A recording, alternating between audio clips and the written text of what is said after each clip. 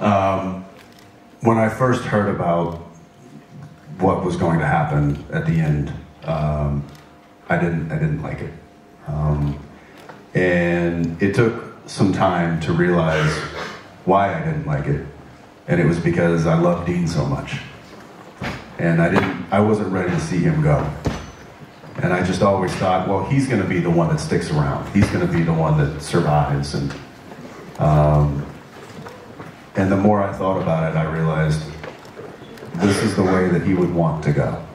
This is how he would want to hang it up and, and, and leave it, is going out doing what he loved to do with his brother.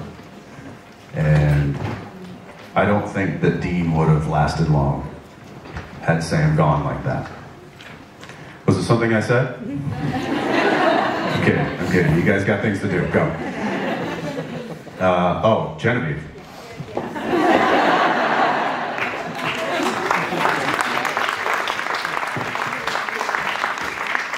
Uh, so it, I, I, don't think that Dean would have um, been able to carry on the way that Sam did. Um, I think it would have been tragic. So I feel like of the two brothers, Sam was was the only one that was going to be able to continue on in honor of his brother and live that life and find that love and find that journey. Um, so I think it had to be Dean to go.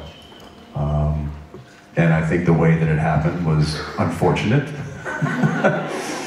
but I think that that was really, you know, it, it, it had to happen. And um, I was proud of what we did and how we did it in the end.